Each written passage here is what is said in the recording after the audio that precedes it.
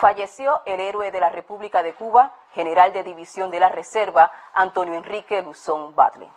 Ingresó a las Fuerzas Armadas Revolucionarias en el año 1957, formando parte de la columna 9 José Tey, comandada por René Ramos Latour, demostrando en cada acción arrojo y valentía, siendo ascendido al grado de capitán y nombrado jefe de pelotón.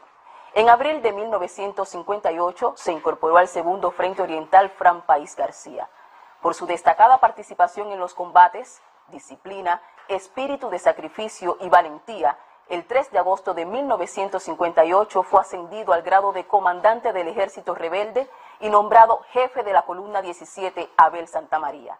Al triunfar la revolución, recibió la orden de garantizar el traslado de la caravana de la victoria encabezada por el comandante en jefe Fidel Castro Ruz en su trayectoria hacia la capital en las Fuerzas Armadas Revolucionarias ocupó diferentes responsabilidades, entre las que se destacan segundo jefe del campamento militar de Managua, jefe de la sección de operaciones del Ejército Occidental, jefe de la Dirección de Operaciones del Estado Mayor General, jefe del Cuerpo Independiente del Oeste, segundo jefe del órgano de inspección de las FARC y entre los años 2000 y 2008, jefe de la Jefatura de Tropas Especiales de las FARC.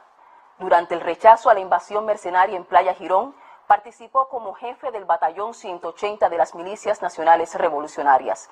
Cumplió en dos oportunidades misión internacionalista en la República de Angola.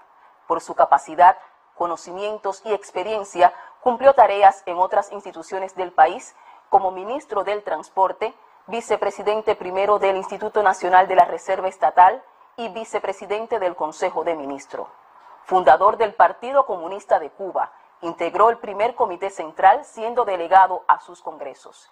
Diputado a la Asamblea Nacional del Poder Popular en la primera, séptima, octava y novena legislatura. En su trayectoria le fueron otorgadas diferentes condecoraciones.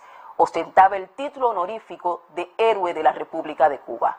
Su cadáver será cremado y sus cenizas serán expuestas el próximo viernes 23 de septiembre desde las 9 de la mañana y hasta las 12 del día en el Panteón de los Veteranos de la Necrópolis de Colón, donde permanecerán hasta su posterior traslado hacia el mausoleo del Segundo Frente Oriental Fran País en la provincia de Santiago de Cuba. Firma la nota el Ministerio de las Fuerzas Armadas Revolucionarias.